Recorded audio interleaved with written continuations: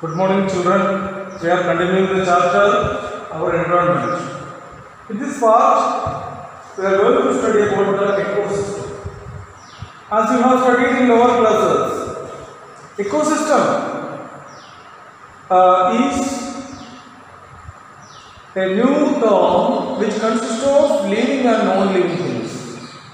All organisms, or we can say all interacting organisms in an area, along with the non-living components such as light, water, uh, soil, then rocks, gaseous components, together form ecosystem. So what is an ecosystem? All the interacting organisms in an area together with the non-living components of the environment form an ecosystem. So you know what is an ecosystem. Ecosystem consists of two parts. Can you tell me what are the two parts or two components of an ecosystem? Living components and non-living components. Living components are biotic components and non-living components abiotic components. Living components consist of plants, animals, microbes or microorganisms. And non-living components, whatever we see, sunlight, water, rainfall, then rocks, gaseous components, all non-living components together form abiotic components. So these two, uh, the living components, organisms interact each other. At the same time, they interact with the, the non-living component as well. So that form an interconnection between the living things or living organisms and also with the non-living components. When we study the details of this, we must understand that there are two kinds of ecosystems. Natural ecosystem and man-made ecosystem. Natural ecosystem we can say the we can say the forest. Forest is a natural ecosystem. Again, we can say a grassland is a natural ecosystem, a natural water body generated in the environment. All this can be natural ecosystem. Whereas man-made ecosystems are called artificial ecosystems such as uh, ponds, the man dug ponds, then garden, then crop field, then even uh, aquarium is also the artificial or man-made ecosystem. So both these ecosystems we can understand that the living and the non-living components interact and maintain the balance of the ecosystem. So this interaction is so important to maintain the balance or self-sustenance of the ecosystem. Self-sustenance of the ecosystem. When we come to the biotic components, there are uh, you know three uh, categories of uh, biotic biotic factors. They are producers, consumers, and decomposers. What are producers? Producers are organisms such as green plants and some cyanobacteria. So again, cyanobacteria. Cyanobacteria. For example, spirulina, spirulina is a cyanobacteria. Spirulina. Then you can say nostoc, another example. Oscillatoria.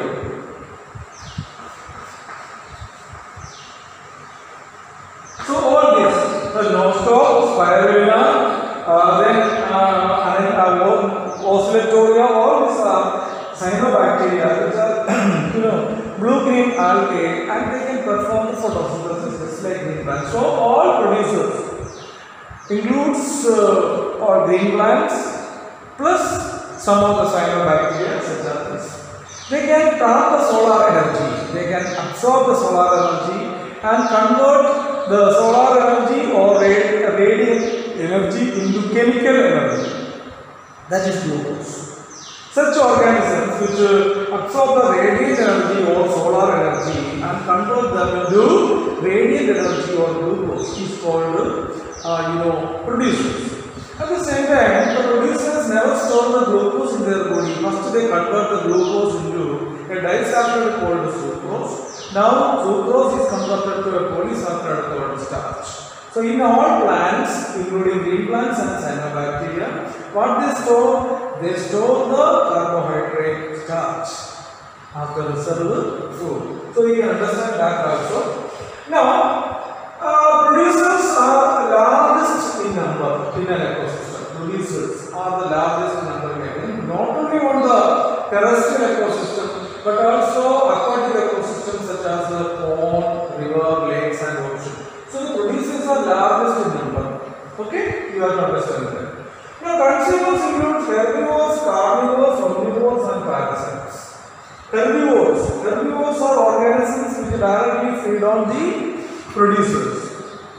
Plant. Like cow, goat, buffalo, camel, all these are herbivores. And carnivores, you know, herbivores are called the primary consumers. Herbivores are called the primary consumers, we can say. Okay? Herbivores are called the primary consumers. Now, carnivores are we can say carnivores. Carnivores are animals which feed on the herbivores, flesh of the herbivores. Okay? Carnivores. So they are the secondary consumers.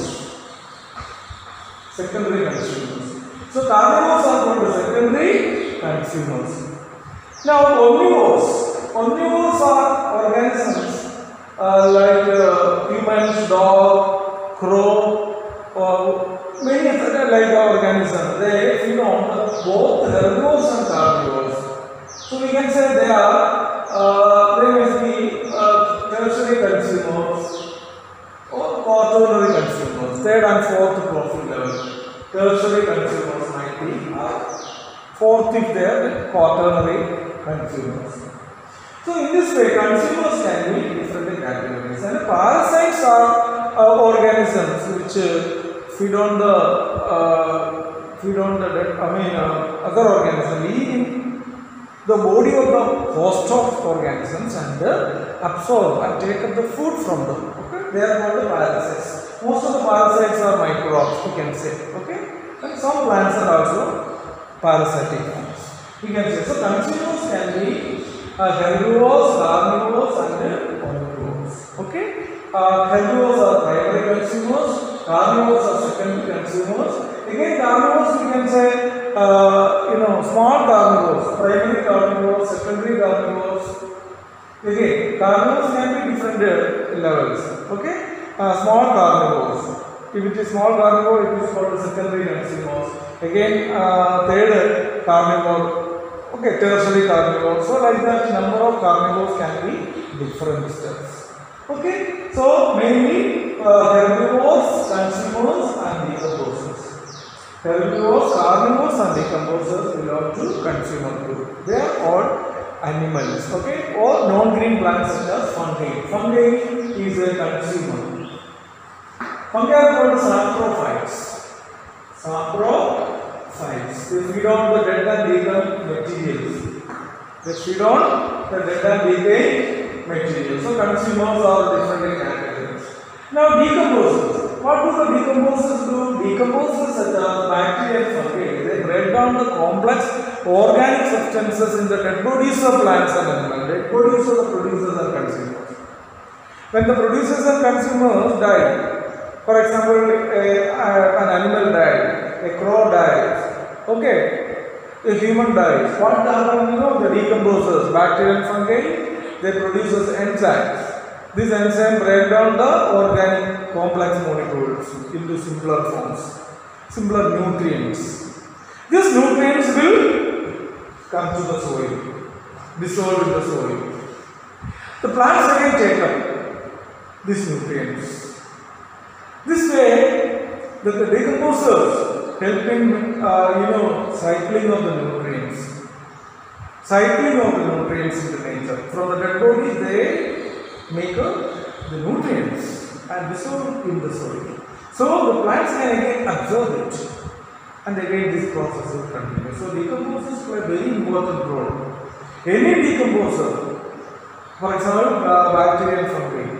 So the dead of the plants and animals for producers and consumers, uh, you know, can be broken down by the by the enzymes produced by the decomposers. So they play a very important role in nutrient cycling in the nature.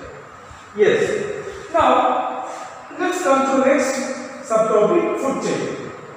What is a food chain? In an ecosystem, we can see the organisms uh, eat the other organism, and that organism is being eaten away by another organism. So, in ecosystem or in nature, we can see one organism is eaten by the other organisms, and that organism is being eaten by another organism. So, in this way, organisms are interconnected through food relationship.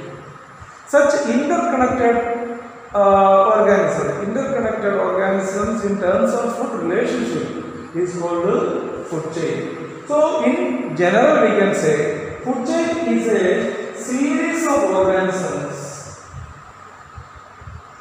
series of organisms exist uh, in terms of food relationship. Such a series of linear chain of organisms, series of linear chain of organisms for the food relationship, okay, is called food chain. So you can see a food chain always start with a producer. You know, producers are largest number. Grass is a producer here. Grass is being eaten by grasshopper. That is the, uh, you know, primary consumer or herbivore. Okay?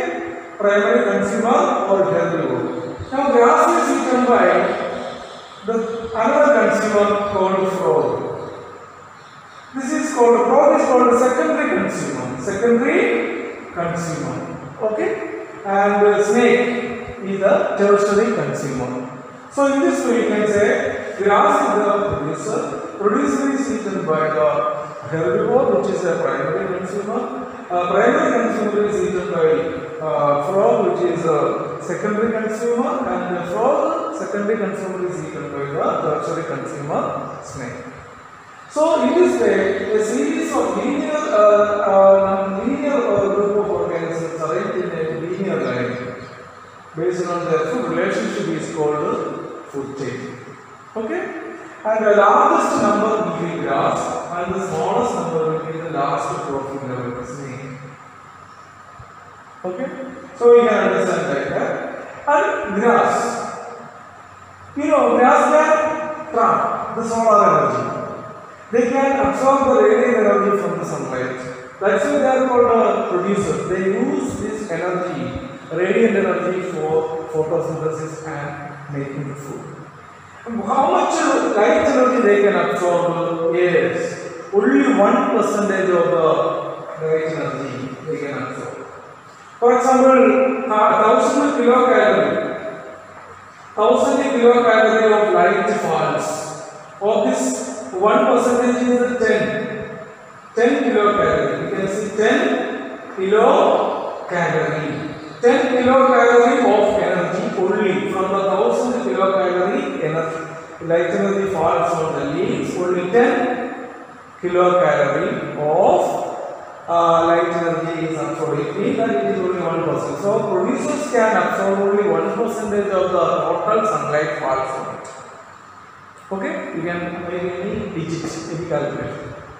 Now, the grass or producers use this one percentage of uh, solar energy and they uh, make the food out of it. And this food they store in their body is called biomass. How much food they synthesize and store in their body? That is called biomass. Biomass. Okay? Biomass. And this biomass that is only one percentage of the total energy they get. Ah, when the grasshopper eat this grass, this food will come to the body of the grasshopper.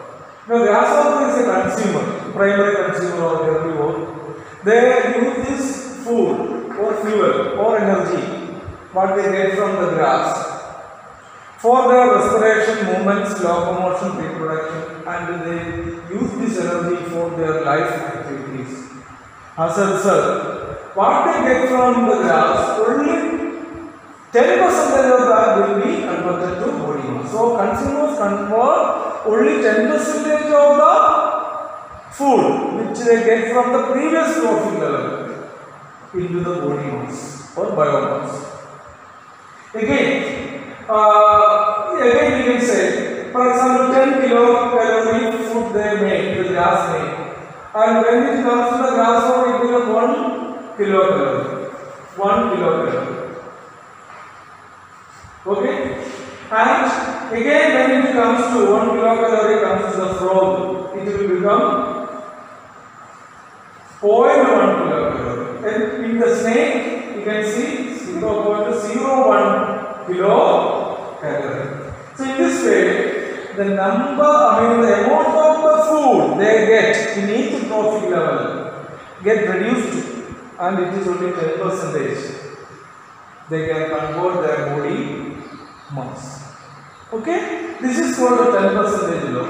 The consumers only store the food as biomass or the food what they get from the previous trophic level 10 percentage only. 10 percentage of the food that they get from the previous trophic level is converted into biomass. So this is what is called the 10 percentage law. So you have to understand the total supply falls from the grass or producers only 1 percentage of the total solar energy is converted into body mass now, when they, get- when they make the food, that food, when it comes to the next trophic level, that is herbivore or primary consumers, they only store 10 percentage or 90 percentage they consume for their respiration. They use the energy for respiration, uh, reproduction, movement, etc. So 10 percentage they store as biomass. Now, again, each trophic level we can see the energy they get from the previous trophic level only 10 percentage they store as biomass. As a result, after 3 or 4 food chain or after 3 or 4 trophic level, we can see the very little amount of energy comes to the body of the final trophic level. So, because of this reason, only uh, the food chain in the nature consists of only three or four trophic level. Three or four trophic level.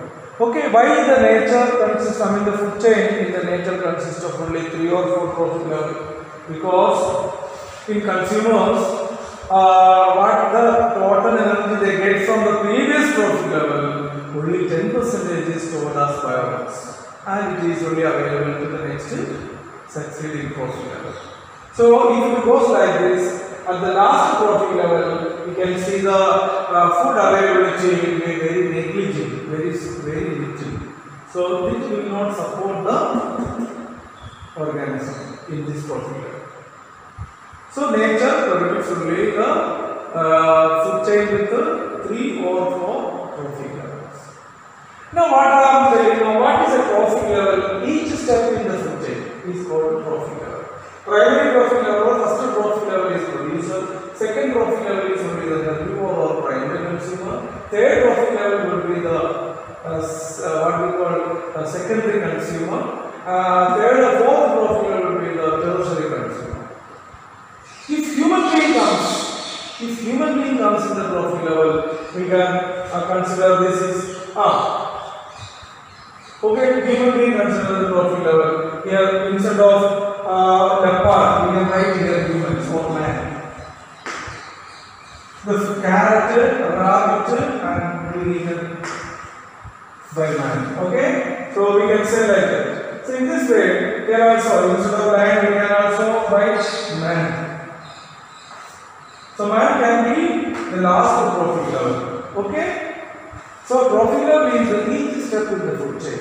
So you got this idea, trophic level and the food chain. How much energy the, the green plants absorb from the sunlight? Only one percentage of what they get example, thousand kilocalorie uh, solar energy falls, they can only use absorb. Wind plants can absorb only 10 kilocalorie. Now, uh, when uh, they make the food, when the grasshopper the plants make the food, how much uh, food the grasshopper can produce in pump? But what the food, the food stored by the grass will be available to this grasshopper. But what they get out of this only 10 percent 10% is used for various body activities. So in this way, 10% is the energy available in the heat level from the previous food chain. So why nature permits only, for nature permits, in the nature we can see only uh, 3 or 4 trophic levels in food chain because towards the end of the trophic level or towards the end of the food chain the food available to the trophic level would be very little very negligible. It will not support the life of the organisms in the trophic level. So nature permits the food chain into three or four trophic levels. Clear? This is very very important and we have to understand it. Okay? Now we will be continuing this chapter after